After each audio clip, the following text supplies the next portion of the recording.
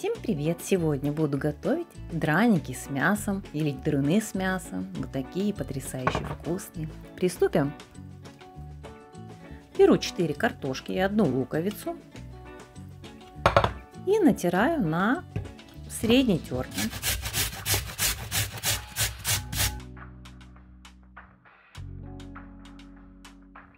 Картофелю и луку добавляем одно яйцо, перец.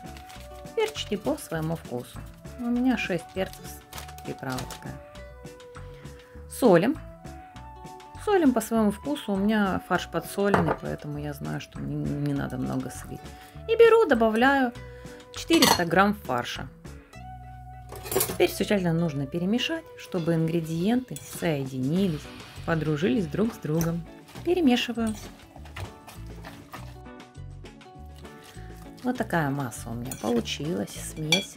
К ней добавляем 2,5 столовые ложки муки.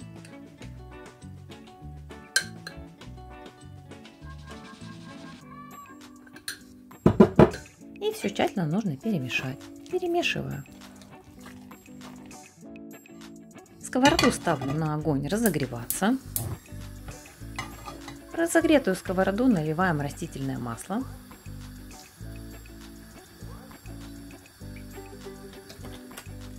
Масло разогрелось, можно обжаривать наши дыруны драники. Обжариваю.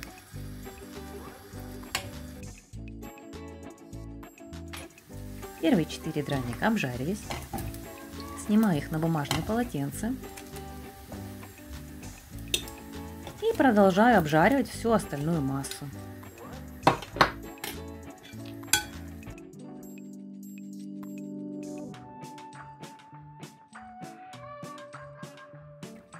Вот так у меня получилось. Обжаренные драники отправляем в форму для запекания. Драники отправляю в разогретую на 180 градусов духовку минут на 15.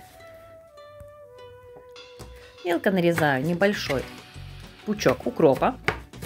Пока драники запекаются, приготовим соус.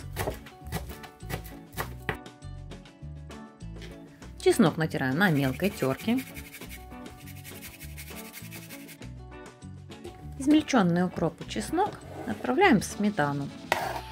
У меня 250 грамм сметаны.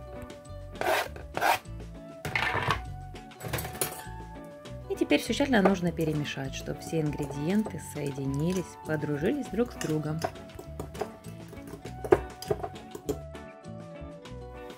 Драники или дыруны готовы. Соус к ним тоже готов. Можно перекладывать для подачи на стол. у меня получилось. Вкуснейшие деруны с мясом или драники с мясом.